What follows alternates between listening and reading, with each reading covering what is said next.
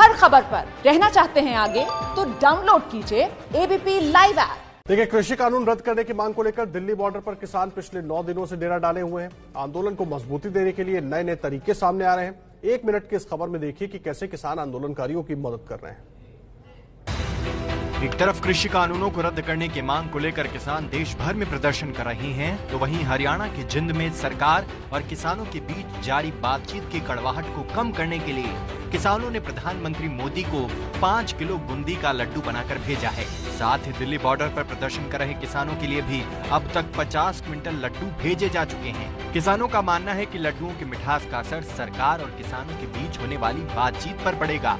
मोदी सरकार और खट्टर सरकार के लिए इसलिए बनाया है उनके लिए बनाया है कि उनका वो अपना मुँह मीठा करके इसको खा के और मीठी बाणी से मीठे शब्द निकाल कर अपनी जबान से किसानों के हित की बात करें और इन कानूनों को वापस कर ले। लड्डू के इसके साथ मोदी के मुँह को मीठा करेंगे और उसका नरम स्वभाव से किसानों से बात करे अपने मन के मैल को निकाले और किसानों का समाधान करे।